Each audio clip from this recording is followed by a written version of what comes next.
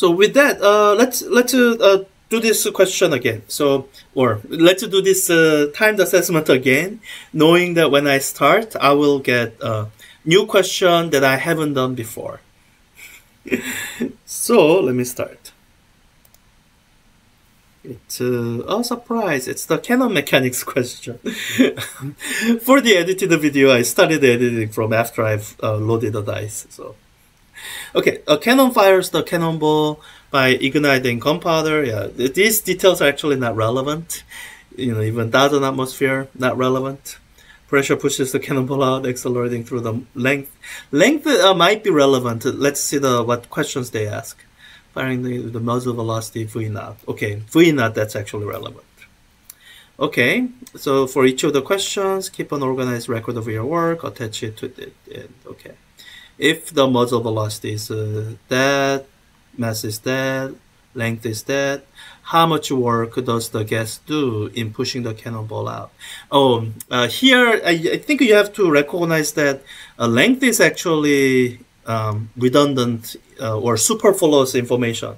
You don't need it. It actually doesn't help you do anything. So when it asks uh, how much work, you have to use work kinetic energy theorem, which says that any change of kinetic energy comes from work uh, work done. So when they ask you how much work was done in doing the thing that we saw, we are asking how much was kinetic energy changed. For that, delta K would be 1 half mass times V naught squared minus the initial um, kinetic energy, which is 0. So really all we have to do is calculate 1 half mv naught squared. Um, and I think we have all the numbers. Let me just copy this over to the right so that I have access to it as I plug this into my calculator, Wolfram Alpha. So it should be 1 half times mass, uh, 1 kilogram times V naught, 400 meter per second squared. Uh, 80 kilojoules or 80,000 joules. Okay, that sounds good. Um, uh, 80,000 joule. So that's it. That's uh, how much work the gas does. Um, and I think I've shown step-by-step -step solution process. There aren't that many steps. And actually, that's one of the things nice about um, energy momentum argument. Usually the math is pretty easy. Uh, that's why it's a nice tool to use in physics problem solving. Whenever you can, that you can always. Assuming the same values as in A, what is the average force, force that should be on the cannonball if it's a constant force on the cannonball during the flight? Oh, that's interesting. So um, I will tell you uh, there's two different sense of average. So um, I'll just say ambiguous average force. Um, so is it average with respect to time or length? Assume it's average with respect to length. And I'm making this assumption because this kind of makes my job easy. This is what I mean. So from definition of work, that work is force uh, dot product with uh, delta x. If we are talking about average force uh, while a force is doing work, you can actually turn it around and say the average force um, with respect to the displacement is the total work done divided by delta x. We calculate the work up there, 80,000 joule. Oh, and this is where I think we know delta x. We know the cannonball must be traveling this length of the cannon, so it'll be that uh, work done divided by that delta x. So I think we are given all the numbers. Um, I have L is, so let me just rewrite this as W divided by L, because L is going to be delta x approximately. Um, there's actually a slight correction that you might make, but it's so small that it doesn't matter here. So this uh, W over L will give you the average force averaged over the distance. So let me do 80,000 joule. I already have that divided by the length of 2.4 meters. Then I think we are going to get something in newtons back. that we can call as the average force. It's going to be 33,300 newtons. Um, F average is equal to 30, uh, did I forget already? 33,300 newtons. Okay, 33,300 newtons. So that's it, I think. Uh, what is the average force? Yeah, that's the average force. Okay. Uh, if the cannon's own mass is that, what is the recoil speed? Oh, yeah. So we gotta figure that out. Um, so this is uh, the kind of the mental image you should have. You have the cannon that's uh, sitting on some kind of wheel, so it's uh, free to move, and you have a cannonball inside. Now, uh, you can see from this picture that at the beginning, the total momentum here is equal to zero. Now we are going to consider the snapshot of this thing where the cannon is here and the cannonball has been pushed out. And just outside the cannon it's moving at the speed that were we given or calculating that we were uh, given uh, we are given the v naught that's the muzzle velocity. Now this is what you have to realize that if you imagine oh, by the way this is for c. So if you if you imagine the forces between the cannonball and the cannon and draw the free body diagrams for both of them. The free body diagrams for the cannonball, it'll be getting pushed to the right by the gas, and the free body diagram of the cannon, it'll be being pushed to the left. This is, you can actually think of this as action reaction force. I guess technically it's the gas pushing on the ball and the gas pushing on the uh, the cannon. But uh, the gas is kind of acting as a medium. Really what it is, cannon exerting a force on the ball, ball exerting a reaction force back. So it's asking for what is the recoil speed of the cannon. Ah, so with this setup in mind, what you should have um, uh, realize is so you have net momentum of zero to start, which means out here, this must be moving backward at enough speed. Let me call it V1 so that the net momentum is again zero. Because in this setup, I hope you get the sense that uh, momentum is conserved. Because it's a kind of collision, limited duration, and while that interaction is happening, net external force is zero. So we have that. Now, if you're trying to look for uh, energy being conserved, here, I guess uh, with that um, I think your biggest hint is this. In order to get this cannon to fire, um, you have to uh, ignite and cause the rapid combustion of the gunpowder. So um, that will be adding energy. So that um, the, the, the, it's hard to conserve energy there. so um, I think I made the argument that uh, momentum is conserved. And if you're thinking that energy might be conserved, I think you can kind of guess from the fact that there's a rapid combustion of gunpowder that's probably adding energy to the system that energy is probably not going to be conserved.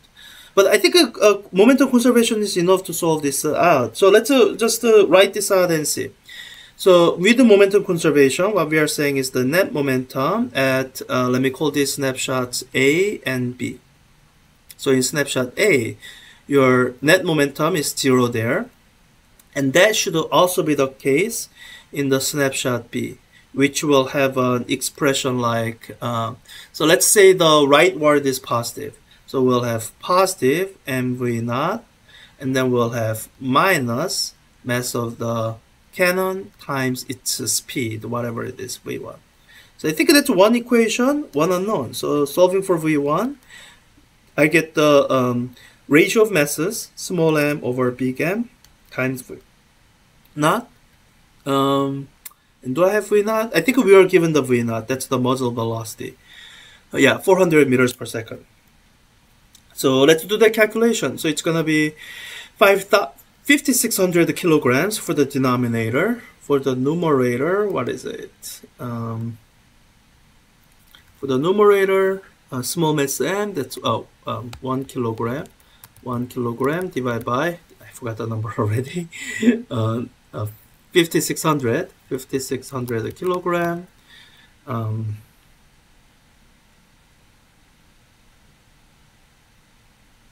uh, yeah, kilogram ratio the masses. I'm looking at my initial velocity, which is 400, uh, 400 meters per second.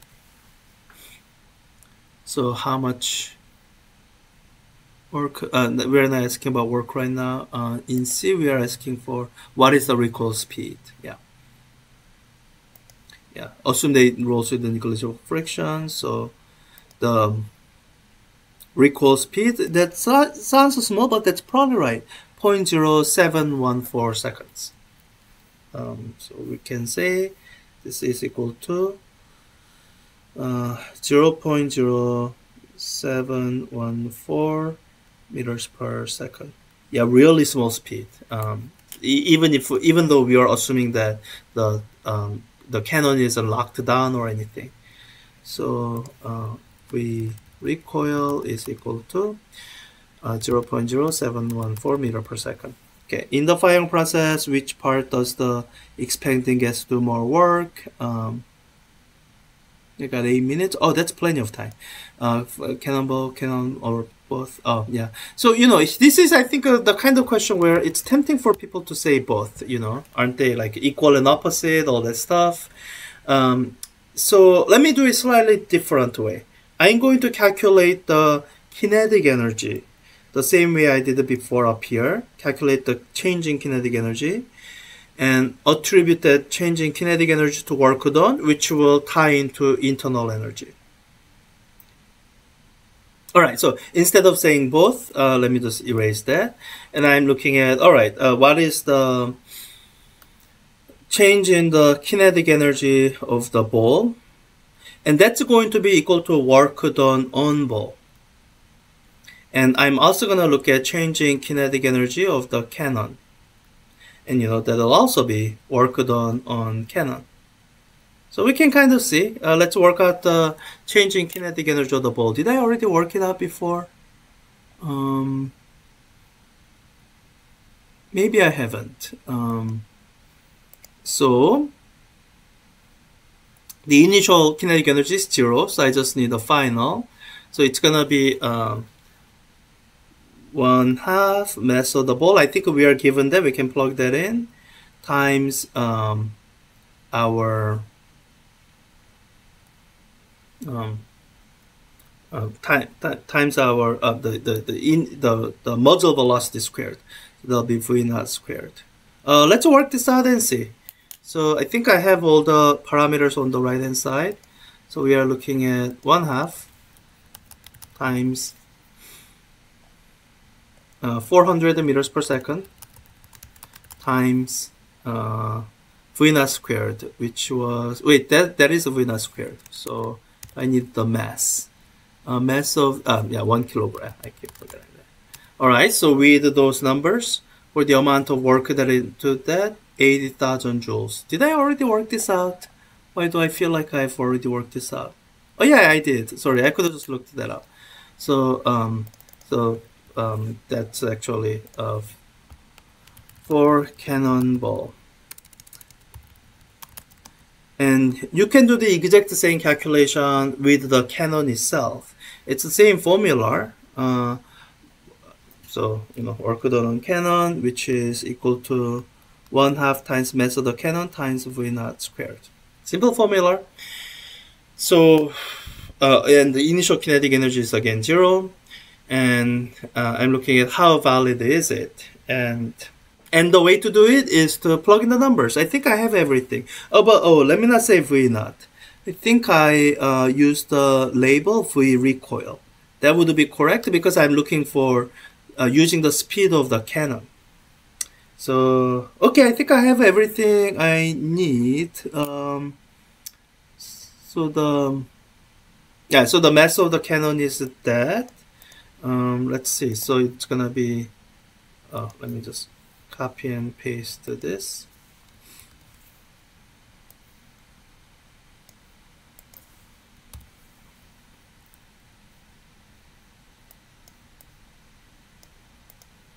and I can put in okay one half times the mass um, 5600 kilogram times V recoil 0 0.0714 squared uh, meter per second and not just squaring the second square the whole thing squared okay um, I get 14.27 joules.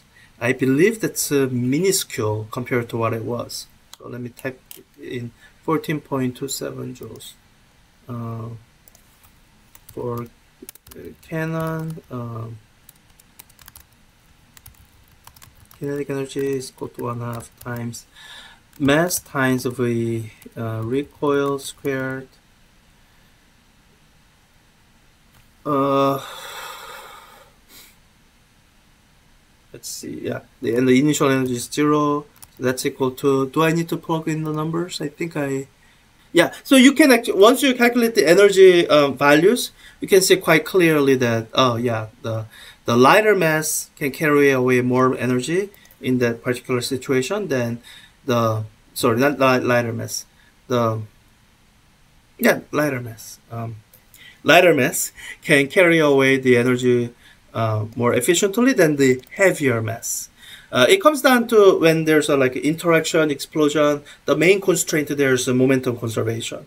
And once you've imposed that the velocity of objects work out such that that um, the the larger the object the lower speeds it was. So um, so it doesn't carry away a lot of um, energy. Even though you know the mass term here one might think that should uh, make sure it carries away a lot of energy but when you apply the momentum conservation, this happens to increase with the decreasing mass. So, so I think uh, uh, so. I will say the on the cannon ball, the uh, expanding gas, expanding gas does more work because there's more displacement.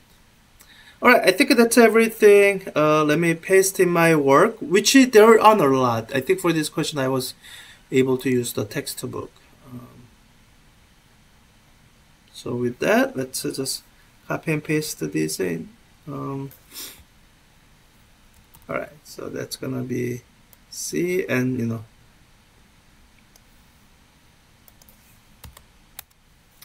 and I think uh, uh, I typed in A, so I wasn't missing A and B. So, all right, let me copy in D.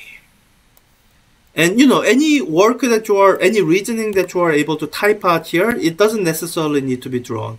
I do recommend that you redraw free body diagram and stuff to um, get a good number sense, but otherwise, um, yeah. All right, so that all looks good. Let me submit it. Or did my time run out? No. Let me submit it and, and let's check the answers.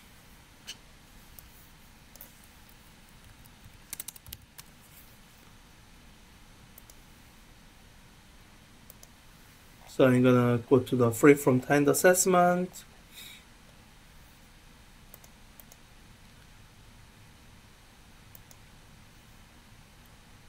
Uh, what am I looking for? Um, sorry. This is what happens when you feel sleepy. Uh, my train of thought just gets interrupted. Alright, I think I need a grades view. View square list. test student is only one who's done stuff. Alright, so let's bring this back. So, okay, for each of the question, yeah, I think A, joule is right same values as that. Um, what is the average force that should be on the cannonball? Um, that looks kind of right. And oh yeah, I got the numbers right. Yeah, good, good, good. Um, so recoil velocity is did I do everything right? Must be.